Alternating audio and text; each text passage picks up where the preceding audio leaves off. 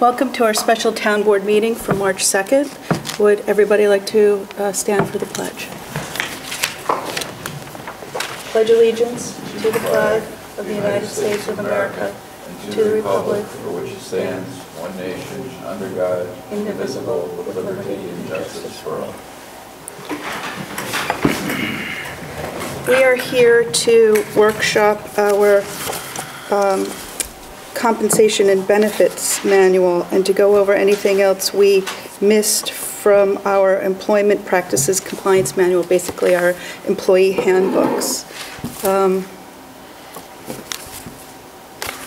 Where do you guys want to start with the compensation and benefits manual? Yeah. One thing, um, we did miss a couple of policies from the last employment practice. So are we going to, um, I've asked the clerks to put together a booklet of all the policies that we have. If we want to write additional ones, I know we're missing one for, um, we said we wanted to do one for um, earbuds, music, you know, sound. We said we wanted to do a policy for violence in the workplace, a smoking policy um, on town property or not, you know. I suggest that we look at the policies and incorporate them if that's something you're interested in. Yes, no? Uh,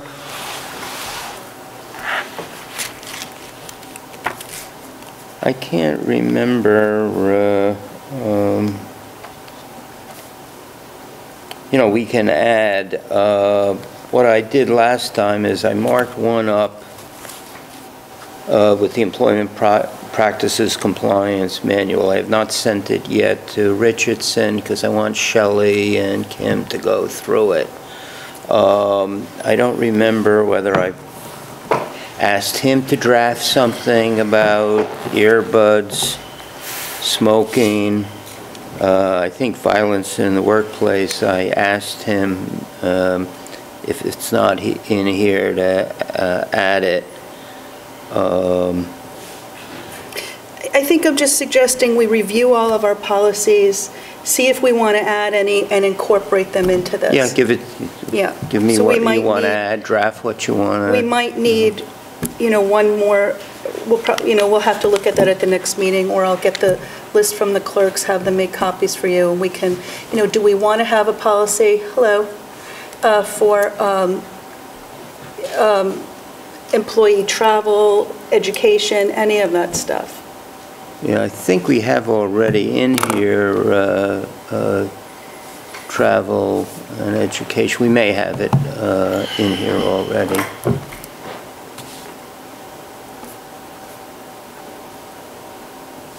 Okay.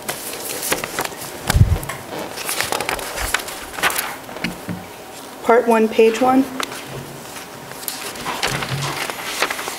Any comments? Joe?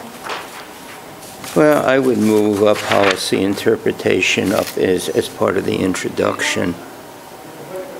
Um,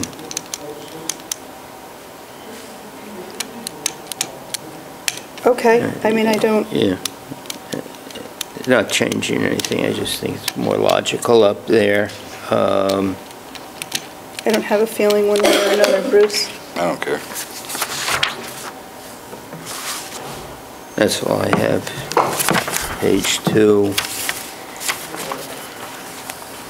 Again, I think we have to spell out uh, the uh, department heads, and I think we did that last time. Yeah, um,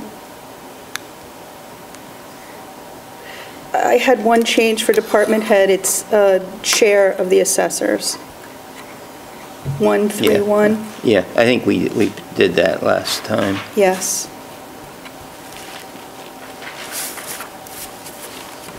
And then he's missing the word hours after, Yeah. where he has 35. And, uh, uh, uh, yeah, that, in um, 133 and Well, it says 134. hours after Yeah. 35 to 40, Yeah, fine. Compensation, the note I have is, um, overtime, do we want um, over, there's nothing here about approving overtime. All right, now, is there something? Yeah, there uh. Flex time 2.24. Oh, a minute. somewhere it says that you need supervisor's permission. Okay, well, uh, my note is uh, who, I guess we refer back to that. In 2.22, 222, room 222, an employee is not to work additional hours beyond the employee's scheduled work hours without the authorization from the Okay, I guess my appropriate note is, I'm department. sorry, my note says who, but we've defined that already. On flex time, I'd- I think that should be a non-exempt employee rather than all employees. An employee, wi- uh, 224? Yeah. So it's a non, only non-exempt employees can uh, take uh, the flex time? Makes sense. Yeah. Well, th- there's a, so the non-exempt employees are um, the town hall staff. Well, uh, Shelley is exempt, isn't she? Mhm. She- Who are the non-exempt staff, do we need to? Hourly employees. Right. So we want to, The, the, the problem with this is if, if you're treating a salaried employee the same way as an hourly employee, then the FSLR, whatever it is, thing, FLSA, will say they should be paid hourly then. So if you want to give people, salaried people flex time, then they should be paid hourly. we have, um, what, four-time non-union employees in town hall? I'm sorry, we have four? Four full-time non-union employees in town hall? I don't know how many. We have our bookkeeper, our aide to the assessors, our clerk. and Town our- clerk? And our deputy clerk. No, isn't the deputy clerk uh, salaried? Full-time, I said we have four full-time non-union employees in town hall. Okay. The deputy clerk is hourly, and she's based on a 35-hour work week. The clerk is a salaried employee with no, I believe, stipulation, I think it's a 40-hour week. Mm -hmm. The aide to the assessors is hourly, and the bookkeeper is full-time at 34 hours, 35 hours. So there's no consistency here with, um, with how they're done. Is that something you want to look at and make consistent? I've always felt that they all should be 40 hours based on the, the the medical benefits. So then what do we do? Do we um, adjust their salary to compensate for the jump in time? Well, you wouldn't, you wouldn't need to for a salaried employee, but an hourly employee you would. Right, because you're asking them to work five more hours a week. Well, ditto for a salaried employee. I think the bookkeeper's definition, and I have to get it in front of me, she was hired for a 35-hour week. So there's an inconsistency between that position and the clerk. Why should we change anything? You know, it's working. 'Cause they're Uh, all Why just uh, make people work fo- four or five more hours and increase our payroll? No, you don't have to. The, the, the- you know, we've discussed this before. It's, it's the amount of compensation, of total compensation is greater for 35-hour-a-week people than 40. What, if you're breaking it by hours? If you're considering health insurance and vacation and benefits. And, and over the years, I think what you'll find is that the people who are on 35, there's been more sensitivity, and they've gotten a little bit better raises than people with 40 hours, um, because they're not making as much, even though it's, you know, they're here, they're full-time employees. So, so I, I think, you know, it's going to be very hard to, to prove that, but I, that's my feeling. Um, I think Well- we should look for some guidance from Richardson on this, because there is an inconsistency. It would be good to have uniformity. Some people trigger into overtime, others don't. Especially in the clerk's office, you know.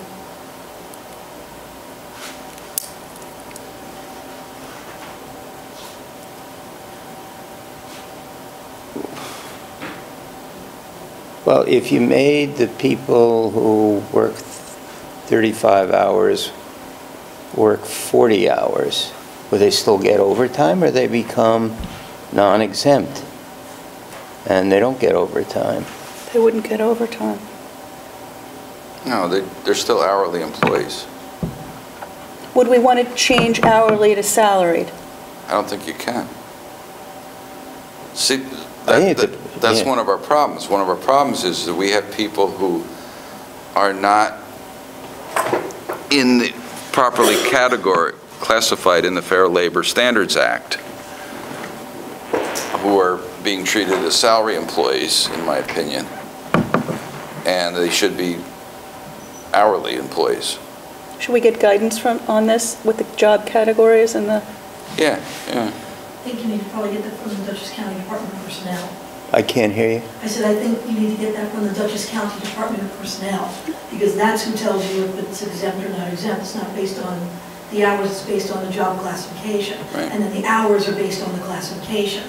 So you're looking at it as the hours leading the class, but the class... it's the class leading the hours. Um, But it's, it's really the job responsibilities. Right, Which is part and parcel of the classification. Right. And, you know, I mean, one of the problems we have is, really isn't a non-union employee, it's a union employee, but too much hands-on and not enough management. Um, So technically, the person should be paid hourly. And um, the- I think a lot of these other positions, we just, uh, we- there's, I can think of other ones. I don't want to go into names with the, the camera, but um, we have a few other situations I can think of with that, too. Well, let's get advice from Richardson. Let's have him look into this for us.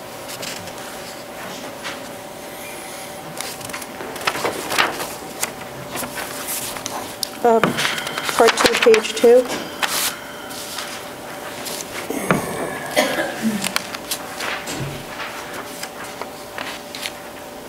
Do we pay people electronically? uh, Yes. So I think we have to add a section on ATM uh, transfers. I have, you know, Shelley needs to have input on this. Yeah, well, she, uh, she's looking over the whole thing.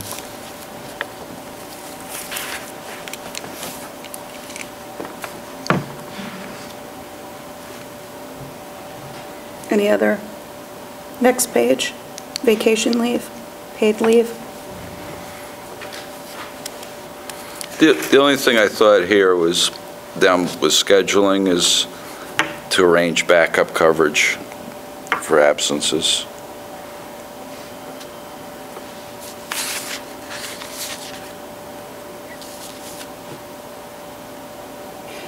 And nobody really, I mean, it's, people sort of just tell us when they're taking vacation instead of scheduling it, but that's part of personnel oversight.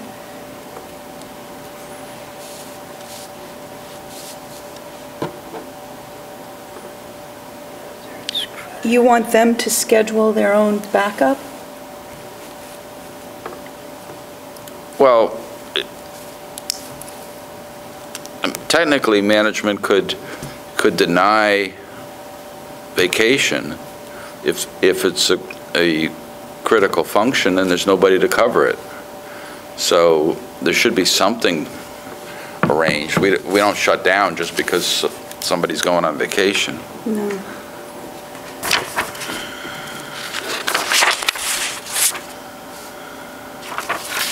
Let's look at that. For the union contract, we say that vacation leave should be requested at least two weeks in advance. Is that I don't how if- you do it, Kathy? Generally, no. Not for, I- I'll grant a shorter stay Like if somebody wants one day or two days, I would take a shorter request time on that sometimes. But uh, generally for a week off or something, yeah, it's two weeks.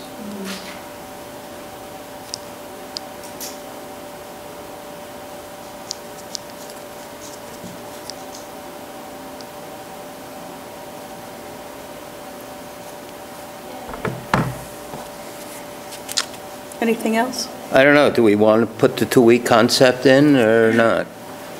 You know, we Or have, keep it we have, separate, eh? it, it, it works well. Everybody sort of covers each other here. I think we could look at a backup. um, So let's leave it alone. I don't see why it has to be the same as highway. It's in, you know, they, it's very covered. Yeah, Kathy? Can I ask you just a general question? Um, That made me think of it. This manual specifically says that it does not pertain to the collective bargaining. Right. But previously, the employee manual was anything not covered specifically in the, in the contract reverts to the manual. Since you separated these into two, but you're saying that this is for the benefits, it doesn't apply, there were certain things that are now, won't be addressed because it's not in the, So it's do you not want, either the contract so you're, the are you other talking document. about policy exemptions or? Um, Yeah, I'm talking about like this scheduling thing about in the event most employees, you know, the, the senior employee would be granted. If this document doesn't pertain and it's not in the other document, there's no. Well, no, no, I, I understand that, but we're going back to the page, part one, page one. Yeah, I which know, Is it the timing, policy, is it the policy exemption that you want?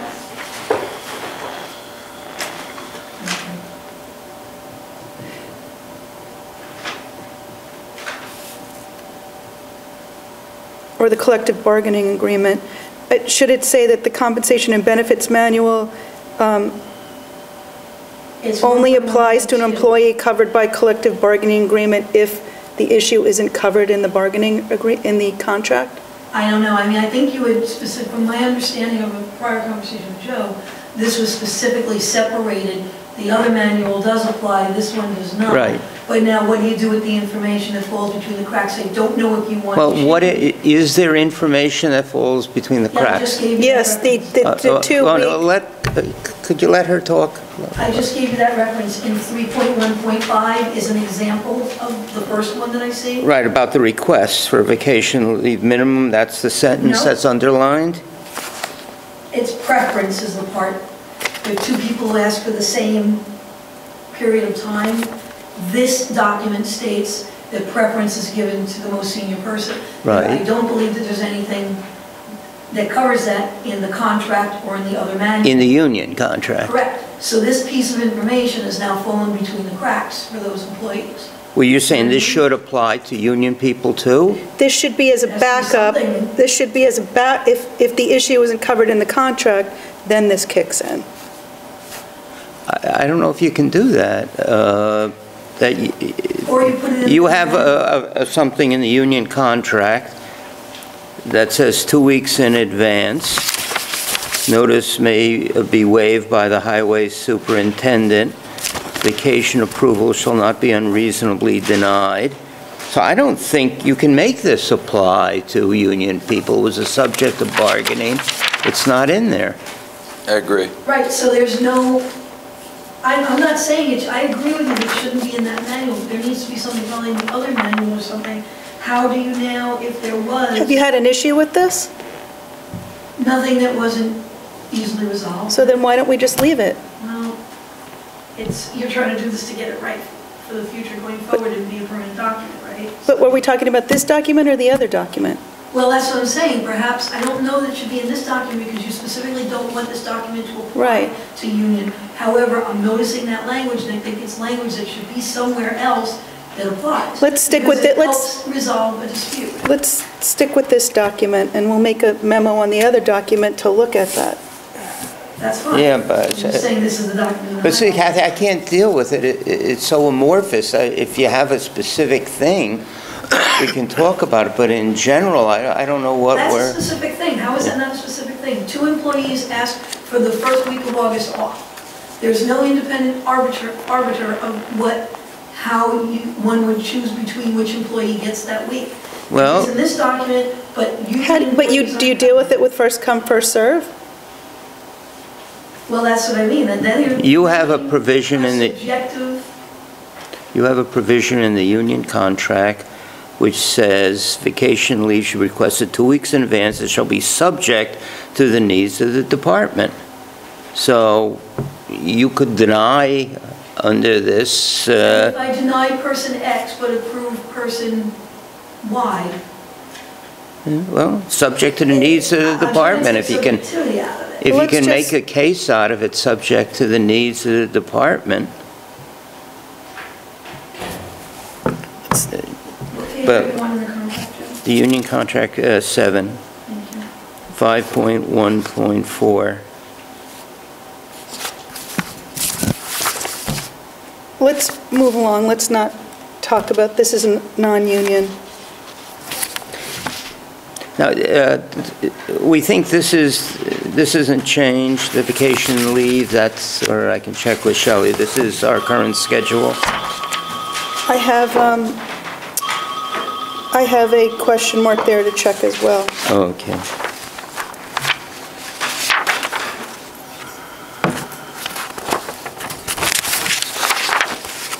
Termination of employee. Yeah, I, the two weeks in advance, I would change that to four weeks in advance. I think two weeks in advance is not enough time to give uh, notice of, uh, that they're leaving. No, I would change the two weeks to four weeks. I'm fine with that, Bruce. I don't care.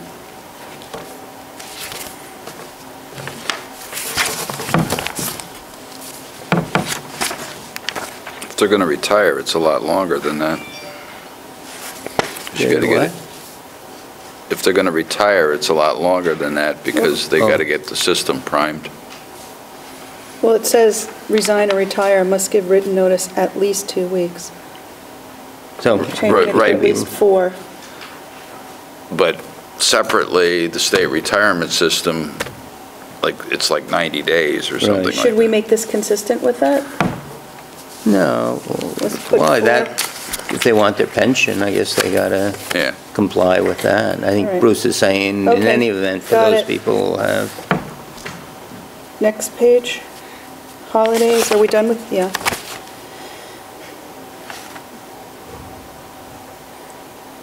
well, this looks like it's the same Yep. as the union.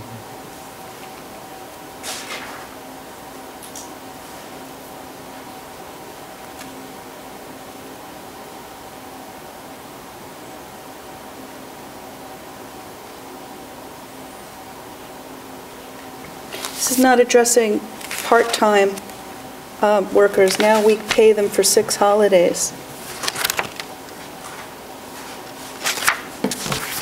So we need a section 3.2.3 has for part-time Okay, employees. sorry. What? Yep, What, what do we need? it's here, it's right, I missed the section.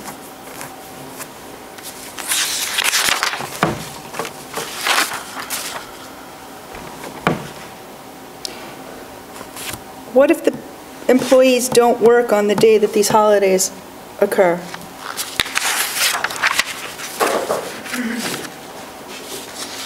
Well, they wouldn't be a full-time employee, No, right? what if a part-time, what if Memorial Day is on a Monday? Are we paying a part-time employee who is not scheduled to work on Mondays for a Monday holiday?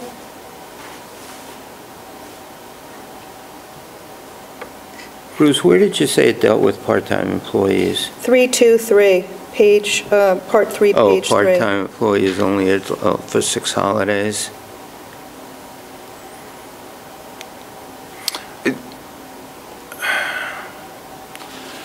This, this has come up, what you're asking. Um,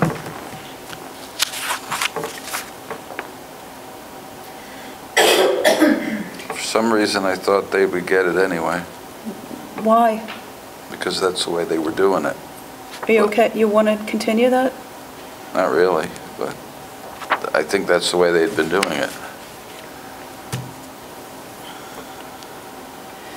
Well, I think our, you know, hourly rates are lower than the towns around us, and I think the trade-off here is the six paid holidays for the part-timers. I'd, I'd rather adjust the rates then. Well, Cl- Town of Clinton, I think, starts people are, it's like a $15 an hour rate. We're nowhere near that. I'm okay with, I think we should do a, a wage thing anyway. Okay. I don't know, I think we're better off doing the, um, Well, it's not what's better off for the the... holiday, what? It's, it's, it's what's, I'm trying to think what's better for the employees. Um, Well, We, we do have an obligation to the town. To save a couple hundred dollars a year on our part-time employees who aren't, who we're not paying We could in open par with the other We could towns always in the open the window county. and throw out dollar bills, but... Joe, that's not a funny character. I, I- I'm really not trying to be funny, Elizabeth. Well, I think, I believe that we should pay people fairly, not I think we do. start grown I- people I- at I- 11, I- 12 dollars I an think- hour. I think we do. I disagree. I think we'll have to take this up with the full board and see what, what, We, we should do a salary survey. That, that's a, a, you know, wage survey. We haven't done one in a long time.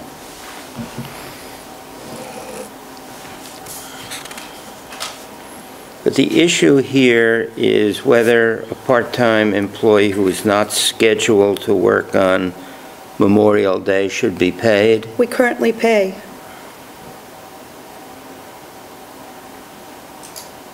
Just like we currently play- pay part-time employees who aren't scheduled for travel days to travel for education when they're not scheduled to work on their days if it's not mandatory education.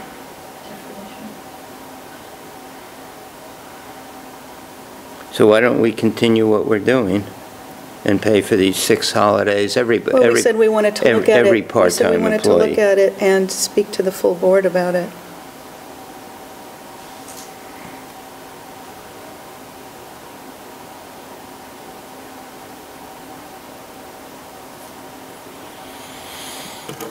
Yes?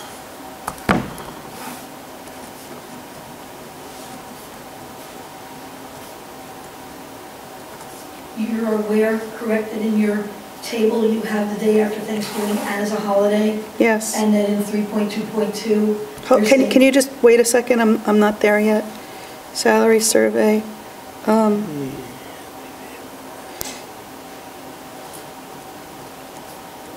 uh, Upping hourly salaries,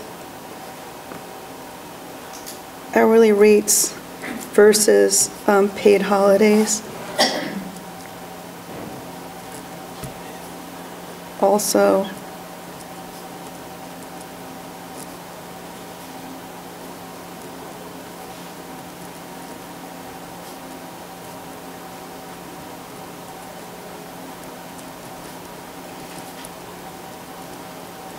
Okay, so a salary survey, speak with a full, get the other board members' input, a salary survey, upping hourly uh, rates versus paid holidays. Also, uh, look at, do we want to continue paying part-time hourly workers for holidays on days where they're not regularly scheduled to work? Yeah, I think the thing to remember with this is, it, it was so they got paid, they didn't lose money. That's how this originally started. Right. And then it became an Right. entitlement where they Yes. got it, whether, the- Whether they work or not? right. Yes. So, so I think that's what we need to clarify, other than the the salary survey. What categories do we want to look at for salary survey? I'd say all the positions. And I can have our our bookkeeper's clerk work on that?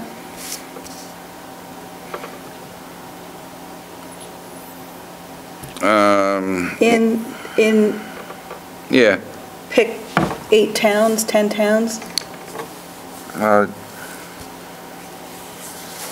Are you just going to do Dutchess, or are you going to go up to Columbia? Dutchess. So the problem is, is that the, Why don't we do surrounding towns? What's the problem? What? The problem is, is that the cost of living is similar in, in southern Columbia to, to around here. Yeah, I would do uh, surrounding towns, maybe a radius of, I don't know, 30, 40 miles, 30 miles. Red Hook, Clinton, Milan, Northeast, Hyde Park, I do northeast, Amenia. Just thinking those are the people on our grant. you want to do across the river, you want to do um, Esopus, Kingston, any of that? No, I'd stay on this side of the river. What's the, if we're going to go to another county, why not go across the river? When the MTA tax was applied, it was applied to everybody within Dutchess. It was not applied within Columbia, right? So, I mean, if you have somebody that's using, if, if a tax like that came up in the future again, conceivably it would applied regardless of whether you live in southern Dutchess or northern Dutchess. Northern Dutchess has a lower pay scale, you know, so I mean, I think that you have to look at the possible um, stresses on somebody's pay come from within the county, not necessarily are, have in common with Columbia County. Even though I know what you're saying about the cost of livings are similar, but not when it comes to the taxation base.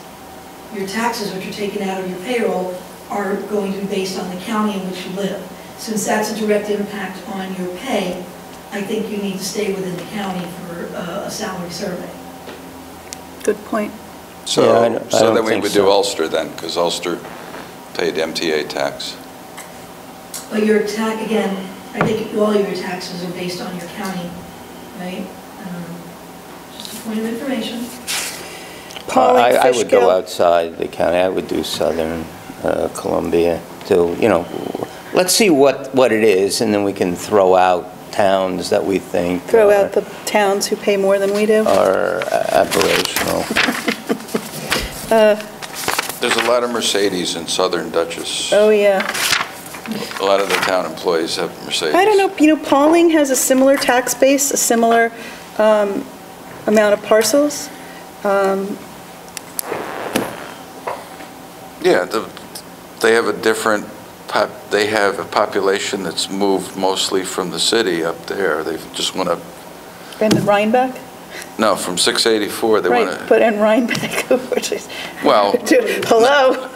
no, no, you're missing, this is, this is a new migration here. They've, they migrated there years and years ago, 50, 60 years ago.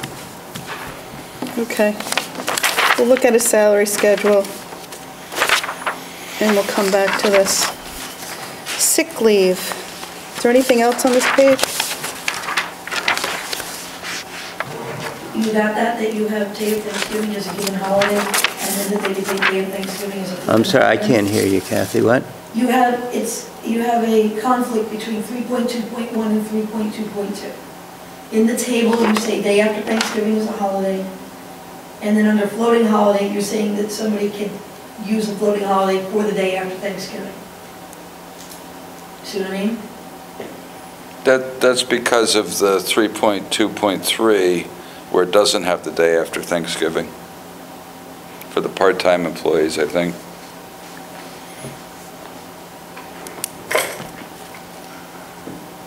Let's check this with him. This is unclear. Yep.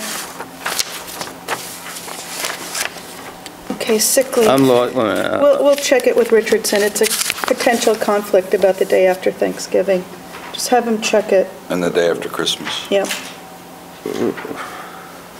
I see the conflict in 3.2.2, uh, day after Thanksgiving. What about Christmas? Where's Christmas, the It- conflict? That's not the conflict, it's the day after Thanksgiving that's the conflict. Okay, that's the conflict. But conflict. it's also the day after Christmas. But it, it doesn't say the day after Christmas in the, in the Schedule. schedule. It says Christmas Eve, day after Thanksgiving, Christmas Day, Thanksgiving Day. Okay. I read it wrong. Yeah, that's fine.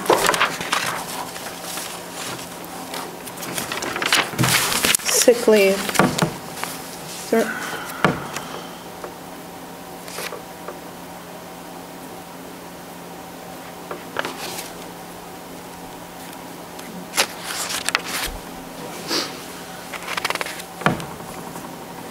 I didn't have anything there. I didn't either. Joe?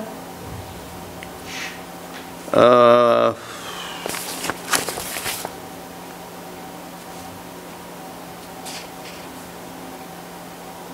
Yeah, I have to compare this really to, uh, um, I haven't compared it to uh, the union. Looks somewhat different.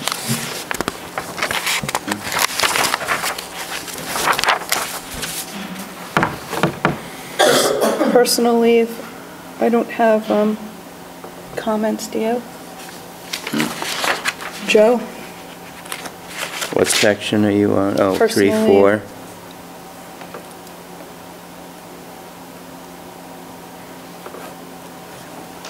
For full-time employees in 341, we talk about um, uh, personal leave, and then down part-time employees, it- it's into sick leave. Should that sick leave for part-time employees be personnel leave? Personal leave? Why? Yeah. Why? Because the first paragraph talks about full-time employees will be credited three days of paid personal leave. And this is what the section is dealing with. Why we jumped into sick leave? And do we talk about sick leave? Well, I guess we... Uh, We're on part three, page six, is that where we are? Yes. I think that's Well- uh, fine, it's just saying they're not eligible, but they could take time off without pay. Hmm? I I don't find a problem with that. Well, then shouldn't it say in the sick leave section, the previous section, that part-time employees aren't Sure. eligible for sick Sure. leave?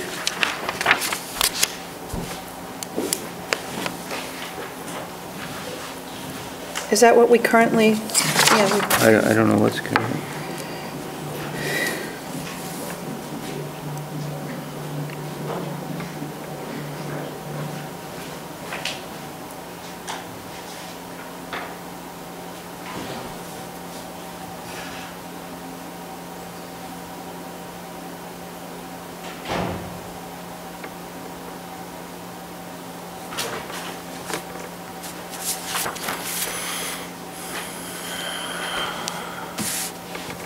On bereavement? we are into bereavement leave, unless there's anything else.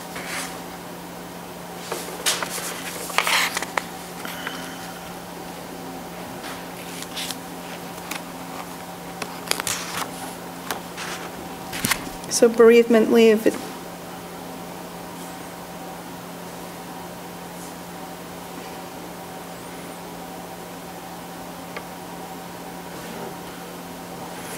So, I mean, the, the note on the second paragraph, 3.5.1, where the collective bargaining agreement had the sister-in-law, brother-in-law thing, we probably should just do the same thing here.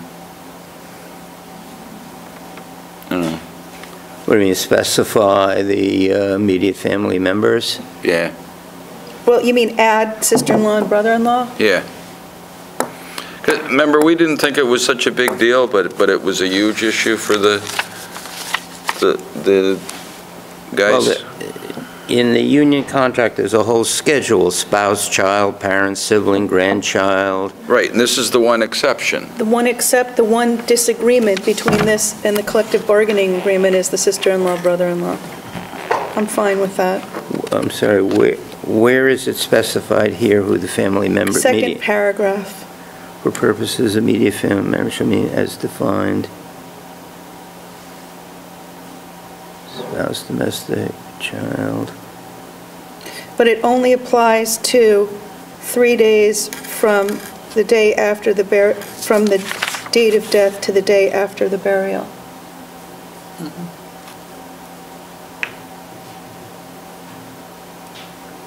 Now, in the union contract, we don't specify who's the child. I guess that's not a problem specifying here. No. Parent, in the union contract, we don't have legal guardian. Um, Sibling, we have grandparent, grandparent. Spouses, parents, Those are your in-laws. okay. Child, spouse, uh, daughter-in-law, yes. Daughter and son-in-law, but probably the word spouse we ought to get rid of. And say child's partner.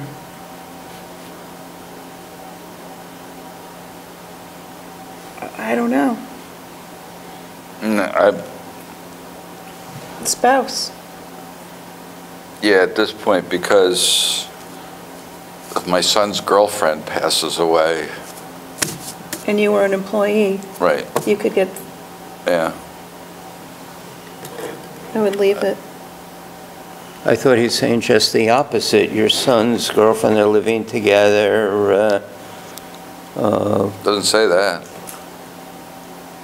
Well, child's partner, I- I'm suggesting we change it to child's partner rather than spouse. Spouse means what? They got a, Legally married, legally. I thought spouse refers to a wife. No. No, a husband or a wife, legally married. One partner within a legally married couple is a spouse. I would, Okay, so cha- you'd I would it? keep it as legally married, Well, keep it as spouse. yes. Okay. I have no other changes on this. Anybody else? Nope. Joe? No. Next page. I don't have any changes for disabled. Does anybody?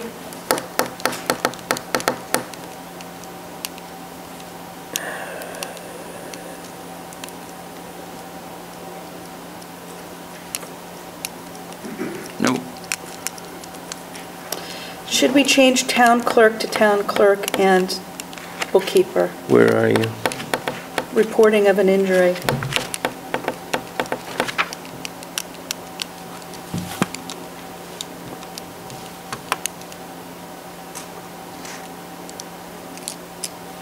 You want to add I think we should... deputy town clerk? No, would- town clerk and bookkeeper.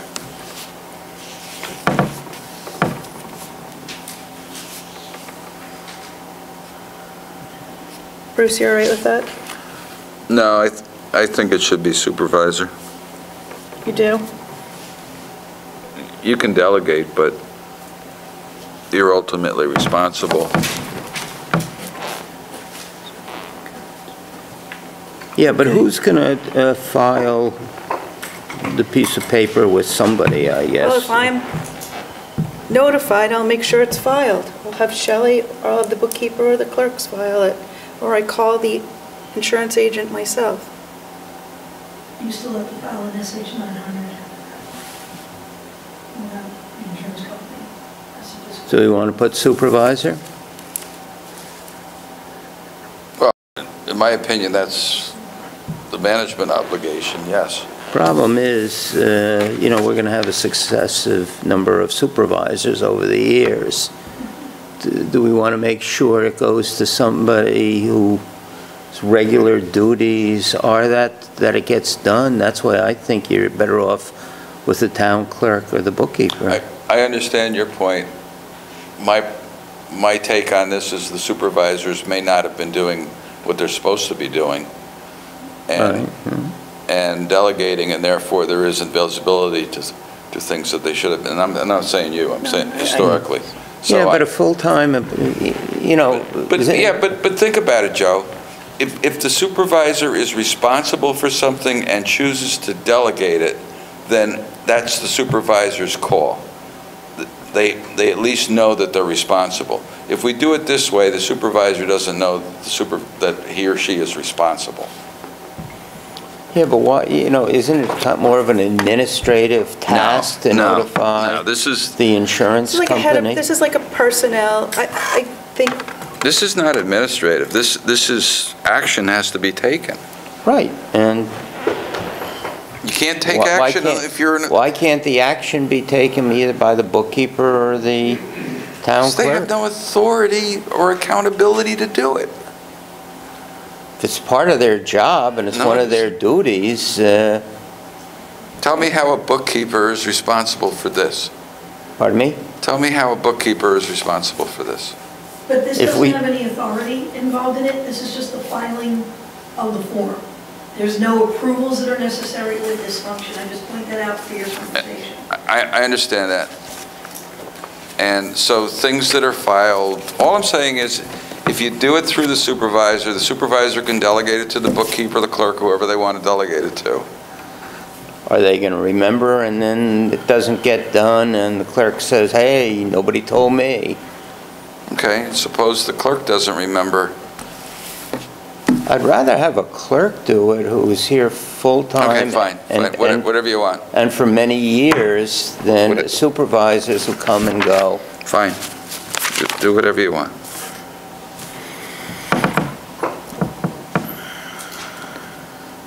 I'd leave it to the, uh, leave it the way it is. That's fine. It's putting a lot of onus on the clerk, but No, it's unenforceable. Okay.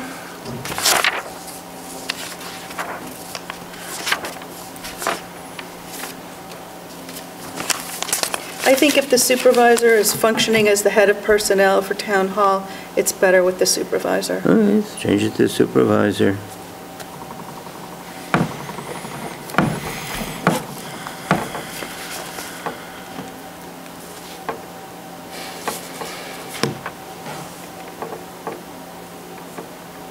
So say the supervisor or designee shall complete and submit required forms. Yep.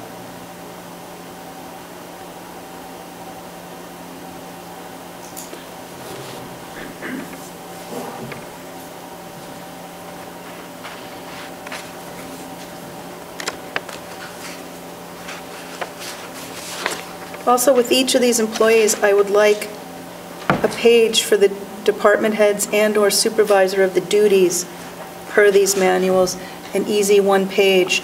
This is what you have to do.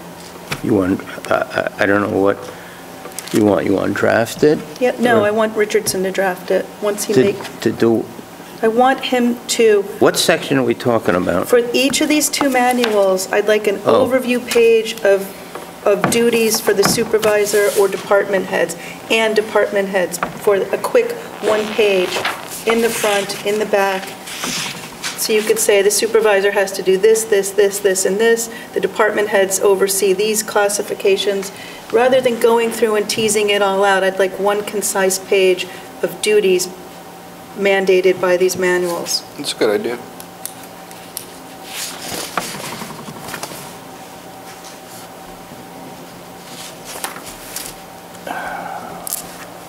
Now, we're willing to pay him more than the We need it. thousand dollars that we agreed. We need it. It's- Yeah, it's- that's fine. I'm- otherwise that's- it's I'm just- it's an pointing it opaque- out, the more we ask him to do, uh, he's going to charge for it. But it. we encumbered more, so. That's fine. Yeah, i- i- it's, otherwise,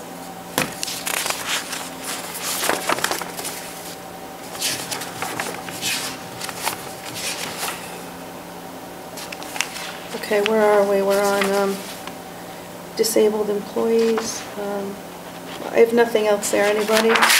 No. Short Wait, wait- wait a minute, I got to make a note.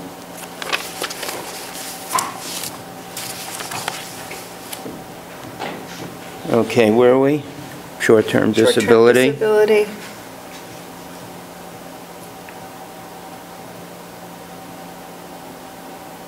You have the same issue in 4.2.3.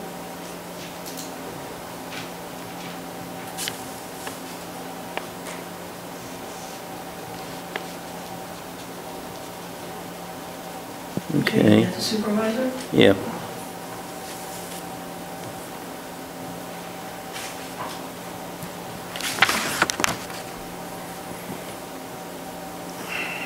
Nothing else? Anybody?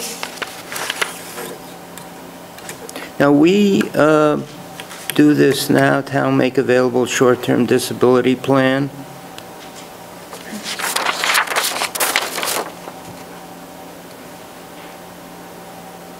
I'll check with Shelley.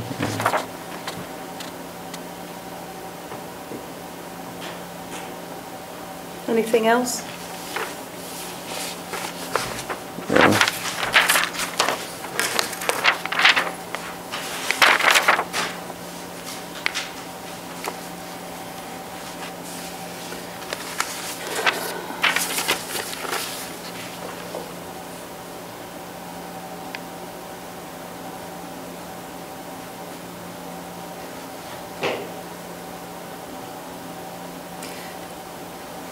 Domestic partner, um, is that the correct term?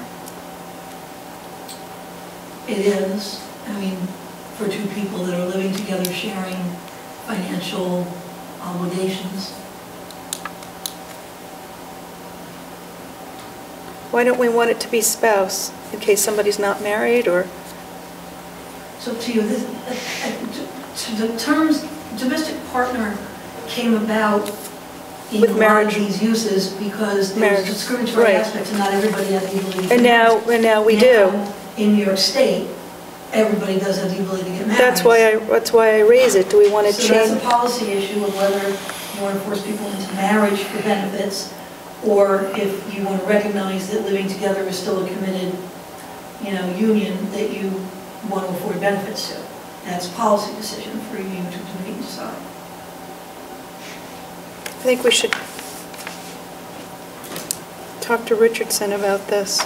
What do you guys think? I think we got to decide. I think I might do a spouse, um, now that marriage is legal, I guess. But then we are forcing people to get married. What if someone's in a long-term committed relationship with children, What if they're uh, and they don't a believe? short-term relationship uh, that lasts two months? What if you get married and your spouse dies on the honeymoon? You know, I mean, you're giving. Well, then it's more- covered if the the spouse Yeah, but I'm dies. saying, but in one issue, you're discriminating. If two people live together without marriage but have a child, two people get married, right, with or without a child, and, you know, you're treating one, you're treating them differently. You're making a judgment call about their relationship. Long-term domestic partner, maybe a concept like that, It's I a don't legal know. term, domestic partner, you can't qualify it.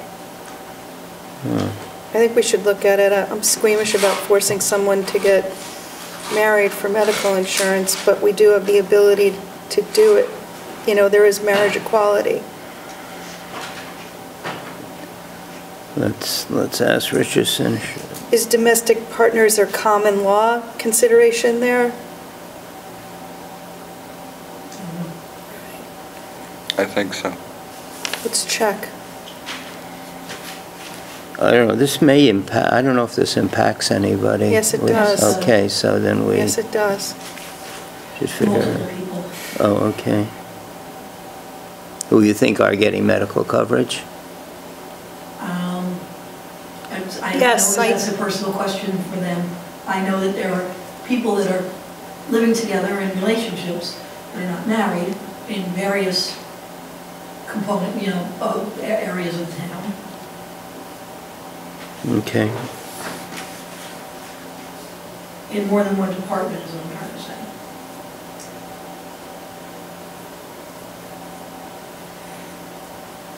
Um,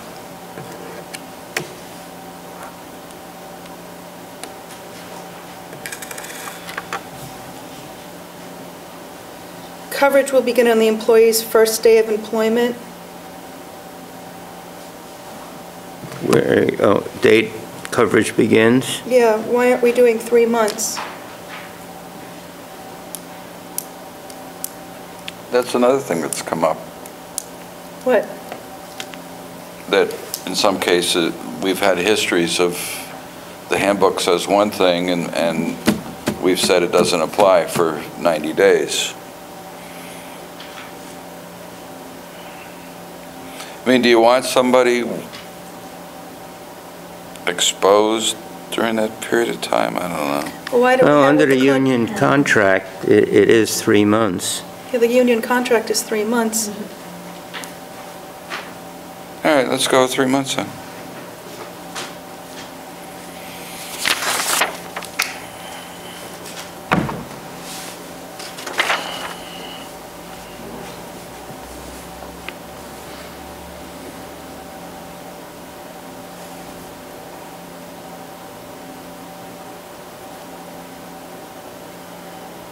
Say three months or 90 days? 90 day, well, I let's, use whatever wording we Whatever's have the in the same. union contract, which is um, three consecutive months of employment. Because that could leave somebody, Huh? you know, that could leave somebody more than 90 days.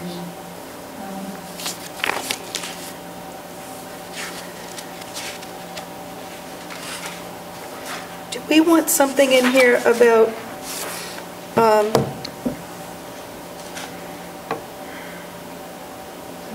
about um, dependent children's dental and optical for the, for the affordable health ca- care? You know, that came up where we're not paying it for the um, collective bargaining unit. Should we address that? What are we talking, dental you're talking about, or more than dental? The affordable health care is mandated additional coverage for kids under, 19, 19. dental. Yeah, that was on the next page, but it- he's There- it's left it blank. open. Oh, yeah, he didn't put it in. I, um, he he has elected officials in 516.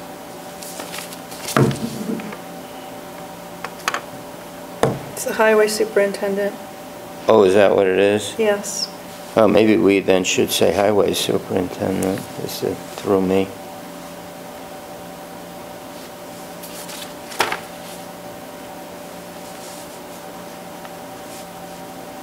I think the reason it says elected officials, because at one time, and I think the- the town supervisor was also eligible to be under the town's insurance plan. So, and I don't know if you would go back to that, I don't even know if that ever came off the books. I mean, I think that technically you're still probably eligible to go on there, Elizabeth. I don't know. You know, it was a thing that um, the last, previous supervisor declined taking the health insurance, but I believe that it's open for the town supervisor to take.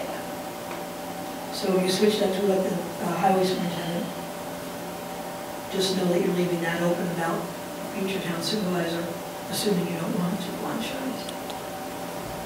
We should talk to the full board about it. It was, it was Block who mm-hmm. did it. Before that, it had never been, That's correct. so. But it was never undone. It was just. I don't, So I I- don't know about that. I think we should undo it. Of course you do. What? Of course you do. Yeah, I'm sorry, what was that? I said if he wants to undo it. It's a part-time job, so it will only be part-time benefits. yeah, but on the other hand, you know, other board members work pretty hard too. Maybe they should be eligible. Well, That's Pawling right there. again, And- And you know what? Pawling has people running for the town board. They have a vibrant, engaged um, board. Maybe that's the difference between Northern and Dutchess County. Well, this is, who's, what, Joe? Maybe that's the difference between Northern and Southern Dutchess County.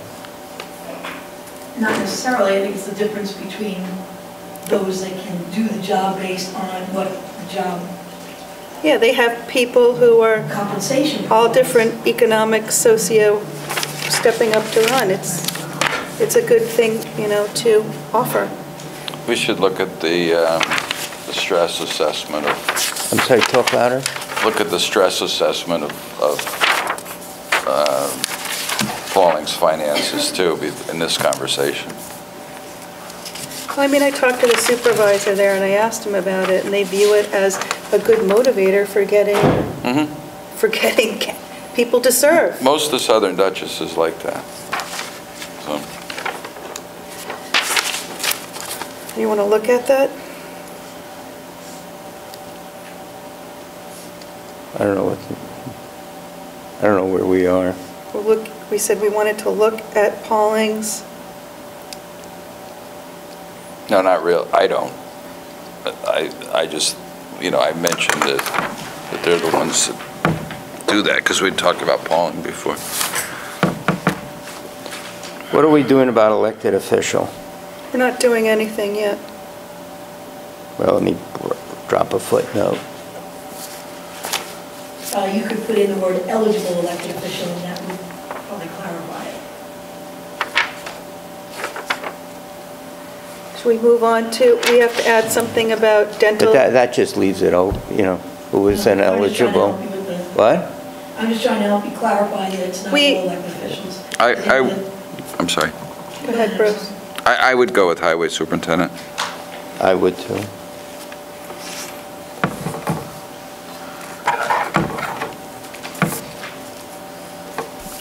Uh, Affordable healthcare dental for under 19, we we have to add that. Right. But he can do that because there was that issue, right, the grievance about it, Yeah. so. Yeah, I think he's leaving it open. There's like a blank there as to what we want.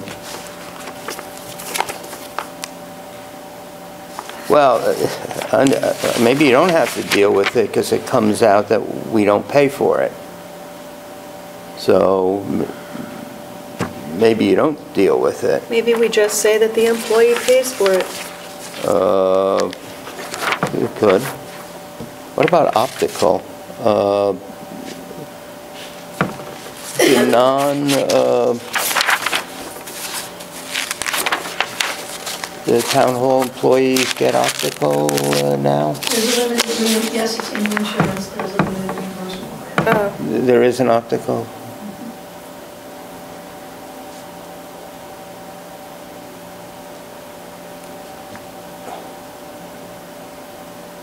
Okay. So we'll continue what we're doing on optical. What is it, a reimbursement or? Yes, I believe it's a reimbursement. Like, It's a limited amount, previously, you know, you go spend thousand dollars and get a hundred back, something like that.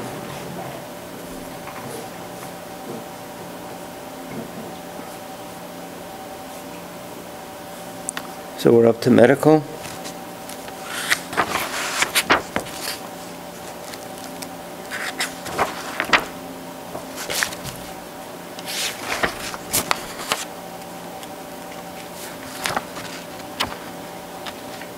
To do um, buyouts for employees? Saves the town money. Yeah?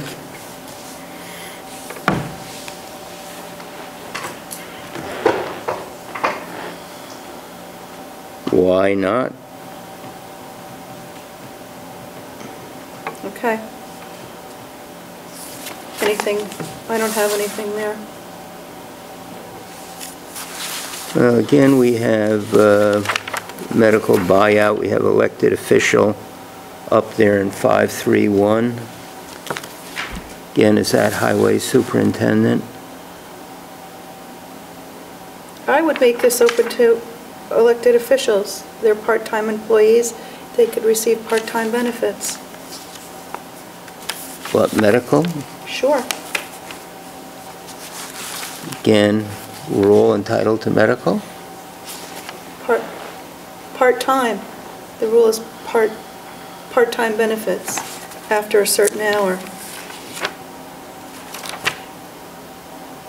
I didn't think elected officials, you know, the... the I would change it to highway superintendent. Yeah, I I would too. The judges, uh,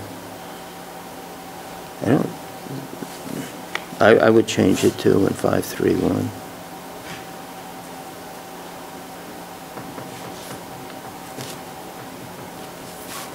Remember the fans being this dirty. Yeah. That's disgusting. And I'm not sure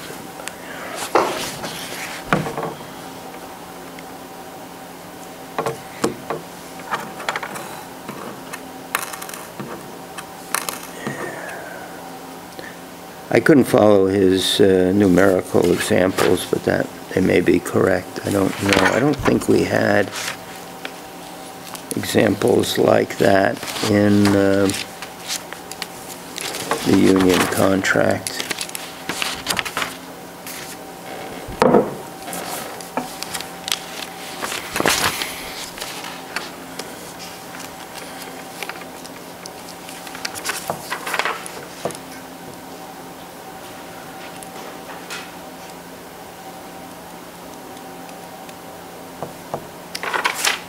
Don't know. I'll have to check then in 534, again, we have elected officials, we'll change to highway.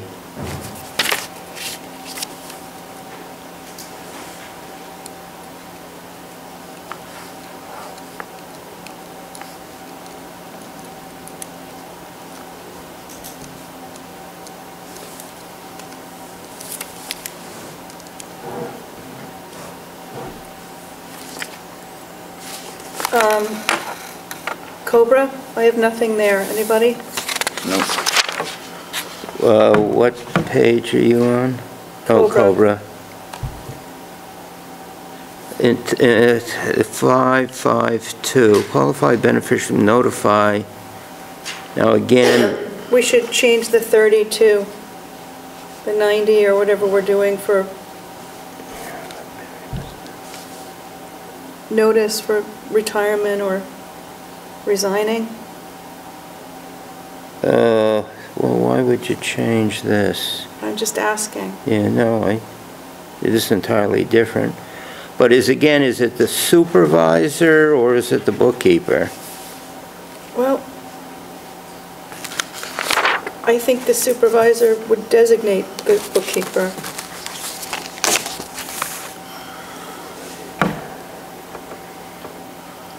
Can I Point out something. So supervisor, I think we had or designee before. Kathy? In your summary, 5.5.1, you, you- just for consistency throughout this document, you don't have domestic partners there. Right, we only had it in that one instance. Yeah, so I know. I'm just saying you have a consistency one way or the other. I know, we're going to look at it, but there's a, I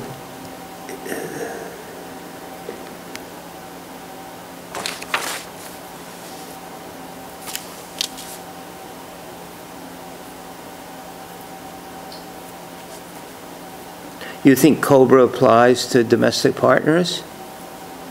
Is Since is that what you're you have saying? Insurance, previously, if you have insurance applying to a domestic partner and now somebody's leaving goes on Cobra, it has to be the same way.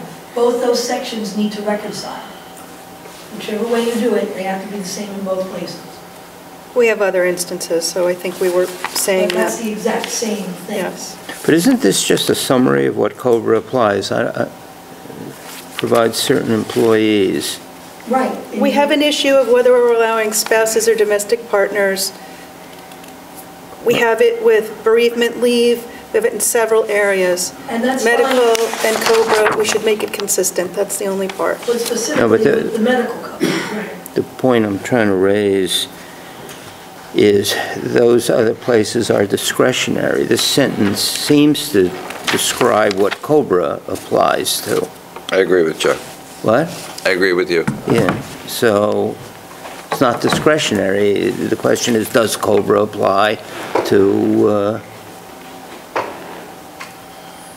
I, I- I believe that it would, because if you have, if you're domestic partners and you're getting insurance, and the covered employee leaves, I believe the COBRA picks up whatever insurance they had. Therefore, that's why those two have to be congruent. you can be 100% right. I don't know. It either does or it doesn't. And I don't know. We'll ask Richardson.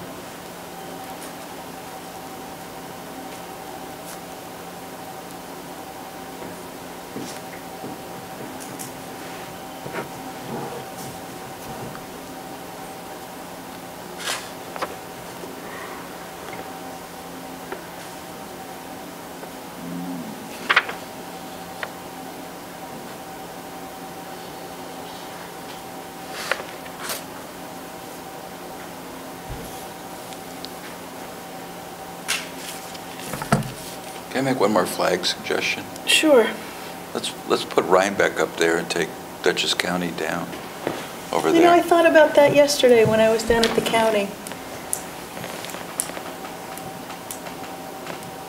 We're talking about the flag? It's a non sequitur, but I was thinking about the same thing.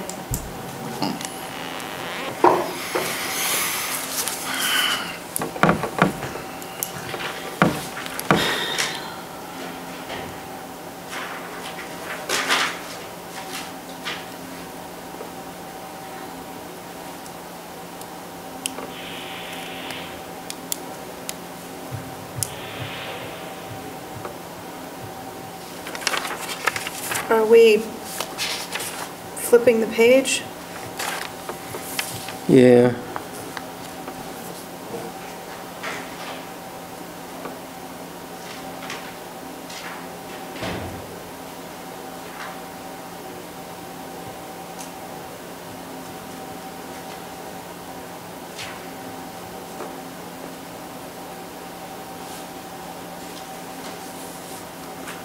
In 621, it deals with people hired before January 1, 2015. Mm-hmm. What about people hired after?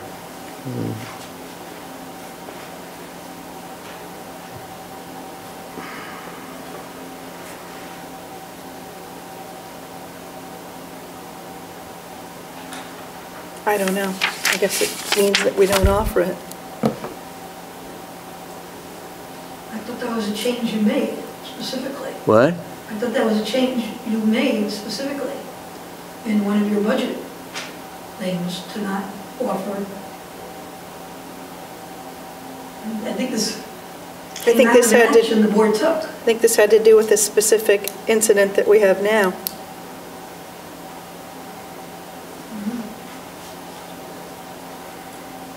I mean, I don't I don't think it's right, but, you know, I'm just trying to say where it came from. I'm lost, Kathy. You think that we, in the budget, decided we weren't going to offer, I remember during discussions, going back the last, at this point, three years probably, that you were talking about, you know, medical insurance for retirees. And I think you, I don't know what other discussions you've had, because you would have conceivably had them probably in an executive session since they were benefit related.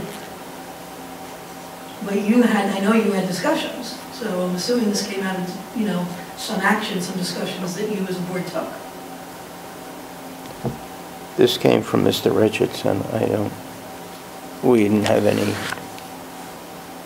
input. I don't know if this is existing or, Do we want to, let's just clarify this with him, I don't, I don't know. yeah, that's where does this come from. Wide limit. Now, there's been a Supreme Court case that came down on the question of can you change medical benefits for retirees? And the court seems to say that it's a- really a matter of a contract and what was the intent and uh, was intended for lifetime. It it seems to me it gives maybe some more flexibility on whether you can change uh, contribution levels for retirees. Well, I, I know that this is, it has nothing to do with the Supreme Court, but I know a lot of municipalities in New York State that are in, are being restructured. It's because they have too much of this. They, they have way too much funded uh, retiree liability or expense. And so the government is looking at things differently. I don't know if we have to take any action. but- We have so few retirees. We don't have enough full-time benefited positions, I think, to cause a financial stress. I- I- And I think what we talked about, Kathy, I think we talked about, the you know, paying part of it. as I remember, not terminating it, but they should be chipping in over time. I think also we have, I- All I know is that there were talks about it, I don't know what the Yeah. discussion was. Right, I think we're at the end of this for today. Oh, boy, 'cause I gotta Yeah. go anyway. Anything else to discuss while we're here? Yes.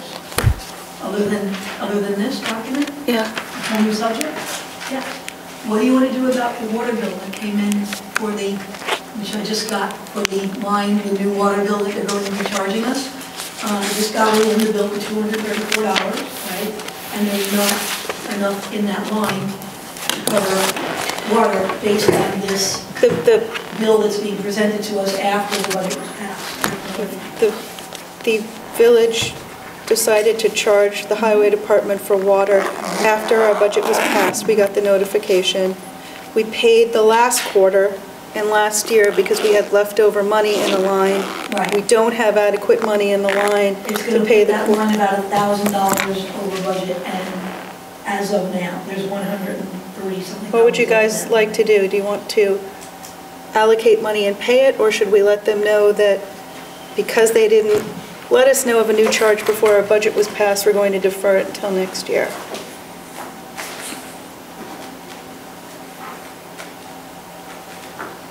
Well, are those the only two choices, or we can reallocate some of the stuff in, in the budget that Every we- other municipality that charges us gets it in before our budget year. Uh, Bruce, what do you want to do? I'd rather move money around. Move money around? I think you're going to have to take it from contingency, it's so early in the year, you're going to have to move from. We're going to have to fund a contingency to line. Fund balance or something. Yeah. Well, didn't you have something else you mentioned that is not funded? uh, The, um, the garage door damage, that needs to come out of a repair line, to be paid out of there, but there's not enough money on that. Let's, let's, let's stick with this question of village water. Yeah. No, but it's, it's the same question as No, to, this is a different not, question. There's a source of income on one and there's not on the other, so there's. there's a source of income on, on the garage door? Yeah, because we're. We have an going to get insurance claim. payment. So the budget needs to be amended, which will be coming before you in your I- next. there- uh, there- This is, a it's a totally different They're two, issue. they're two very different things, stick with them one at a time. Talk about both, but one at a time, I think.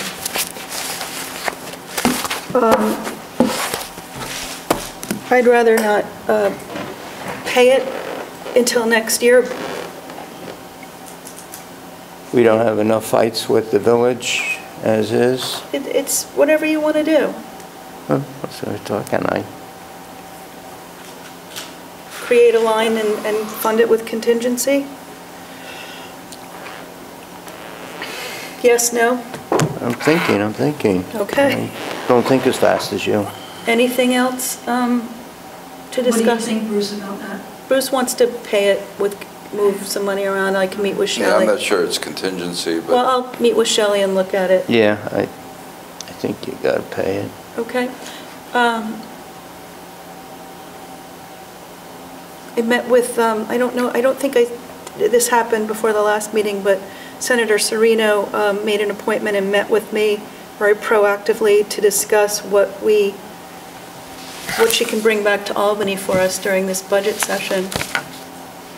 And um, I told her that um, the governor should stop picking on local municipalities for being wasteful, and that if they want to um, push consolidation, they should mandate it. You know, the state should come up with a plan for consolidation, either of governments or departments, um, that it's a very difficult thing to do for part-time local governments to consolidate. Fire departments, fire districts, villages, towns. Um, And I also said we need more money for infrastructure replacement, that that's what was suffering here, our roads, and they're having some money from the Wall Street settlements. But um, it was a good meeting.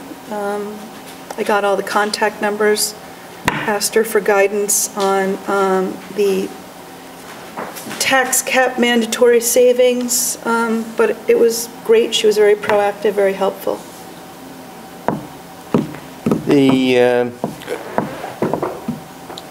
salt shed idea, uh, Kathy, we haven't, uh, I guess formally responded uh, to that idea. I saw Amenia's said they're not interested in a uh, No, I a talked, combined I grant on talked to um, shed. Bill Gallagher about it last week when he came by.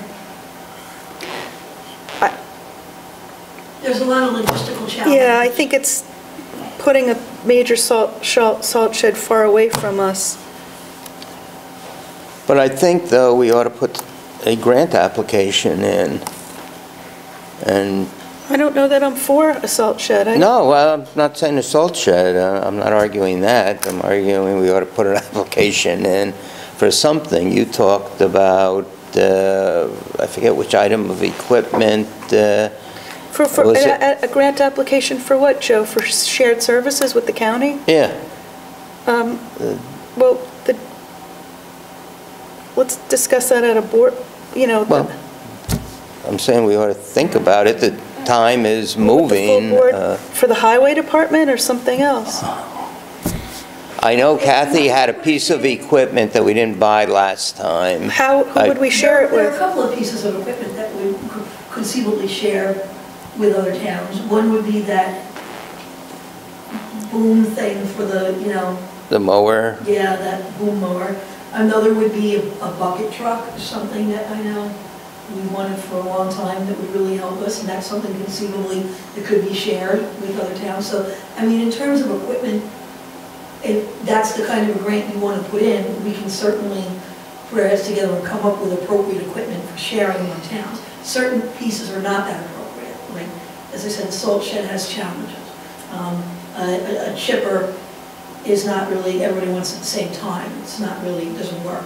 But the other pieces, you know, we can certainly come up with that, if that's what. Yeah, why don't you give us a list and maybe suggestions as to which towns would be most appropriate in terms of location It's always got to be something. for the item, and let's think if there's anything else, uh, but, you know, the deadline will be rapidly approaching. Um, Kathy and I and Henry Campbell and Ed Maddock and Ron Evangelista all attended, sorry? And Pete Dunn. all attended the county meeting yesterday for the emergency hazard mitigation plan, which were, um, was very helpful that the county put that together. And what we decided, uh, I have the package here, there was one package for the town. Um, I reached out to the village, I- I'm going to put together a meeting to work on this, where we could get the paperwork filled out in a day or two and get it into them quickly. It'll be a very helpful thing to have this all mapped out, and it, what it does is enables us to be shovel-ready for different FEMA grants coming up. I know we've been hearing a lot in the news lately about misuse of FEMA, but we sort of need to do this to go after grants that could be out there in the future. So it was a great initiative by the county, very helpful. I will send this out today and get a meeting going um, and invite the village to attend. We figure that between Ed, you know, our co- code enforcement officer, our zoning enforcement officer, highway, myself, we're going to invite Bob Fitzpatrick, um, the village's code and zoning enforcement officer, a a village trustee who may know about infrastructure, uh, our emergency services coordinator, that we can pretty much fill the paperwork out, you know, with an overview. Um, If you guys want to put eyes to it before it's finalized, that would be great. Or if you want to participate, that would be great.